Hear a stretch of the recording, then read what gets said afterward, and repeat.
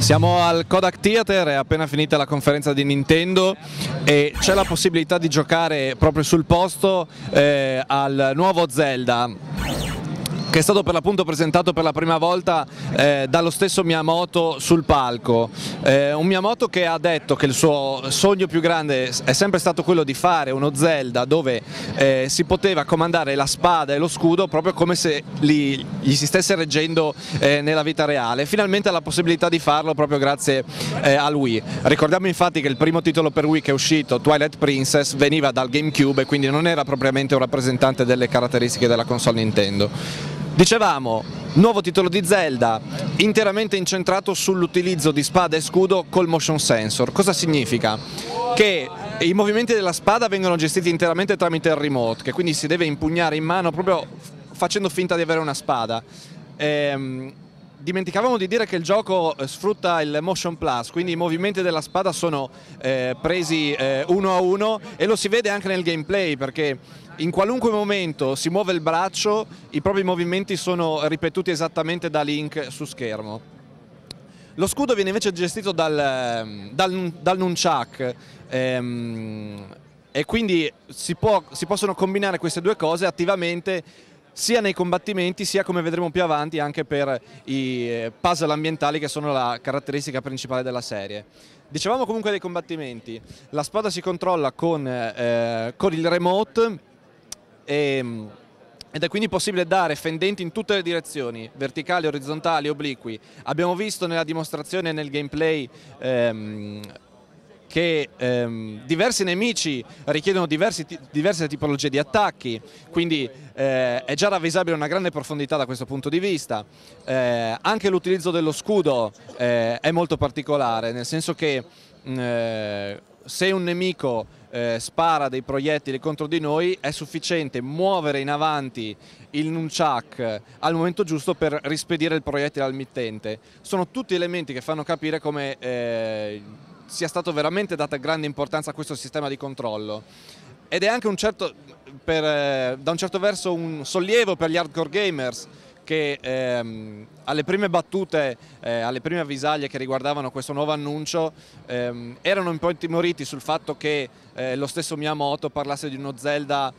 un po' meno complicato rispetto ai precedenti. In realtà si riferiva proprio a questo sistema di controllo che fa utilizzo di pochissimi tasti perché ripetiamo, spada gestita dal remote, scudo dal nunchuck e si utilizzano solo i quattro tasti principali del, del controller Nintendo.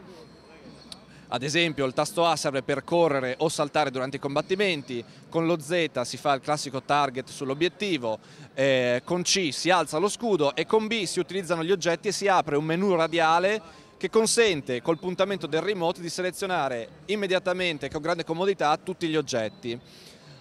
Gli oggetti sono stati anche, anch'essi una parte preponderante del, della demo, perché ci sono degli oggetti nuovi eh, e gli oggetti classici hanno anche un, un, utilizzo diverso, molto più profondo. Ci viene in mente il discorso delle bombe. Oltre a poterle appoggiare a terra oppure lanciarle facendo, mimando il movimento col remote, è anche possibile farle scorrere come una palla da bowling con lo stesso movimento che si fa nel bowling di Wii Sports. E proprio Wii Sports è stata, per stessa missione di Miyamoto, grande, eh, un grande training ground per quelle che sono molte idee messe a realizzazione in questo Zelda.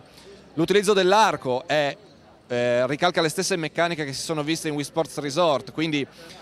si tende tirando indietro il nunchuck e poi si rilascia per far partire la freccia. Eh, la stessa ehm, fionda si utilizza eh, puntando con il remote, poi c'è la frusta, anche quella segue i movimenti uno a uno fatti dal remote. C'è un nuovo oggetto che è un, una specie di scarabeo volante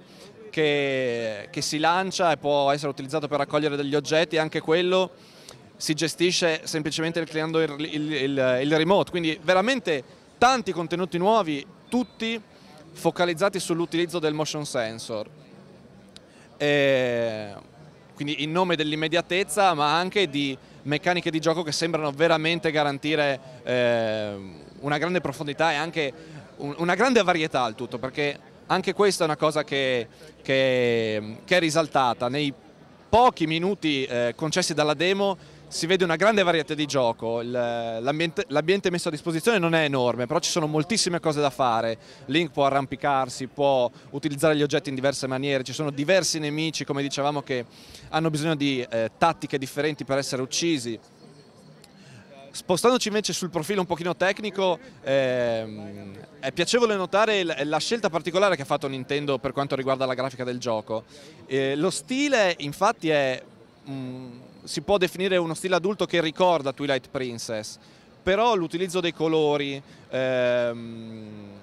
che sono molto accesi, anche qualche filtro particolare, insomma dà, tu, dà al tutto una, una, veste un po' più cartunesca, quindi eh, ci possiamo tranquillamente dimenticare le tetre di Twilight Princess. Il gioco si chiama Skyward Sword e, e ha un senso perché eh, alzando la spada verso il cielo Link può caricarla di un potere magico che, può, che poi può rilasciare sotto, di, sotto forma di un'onda d'urto. Quindi davvero si ha l'impressione che sia un prodotto eh, studiato fin nei minimi dettagli, quello che eh, i fan di Zelda eh, volevano aspettarsi che probabilmente arriverà, quindi ci sentiamo totalmente di escludere il rischio di un gioco casual che magari non offra la stessa esperienza classica degli Zelda, con, ribadiamo, l'aggiunta di queste fortissime componenti motion sensor, ma tutte integrate veramente molto bene nel tessuto di gioco.